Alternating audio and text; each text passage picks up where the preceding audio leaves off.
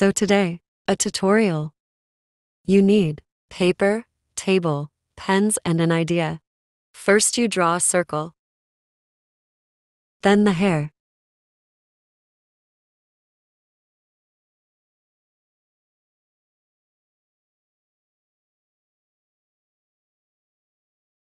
Then the five lights on his head. And finally, the hat. Screw it.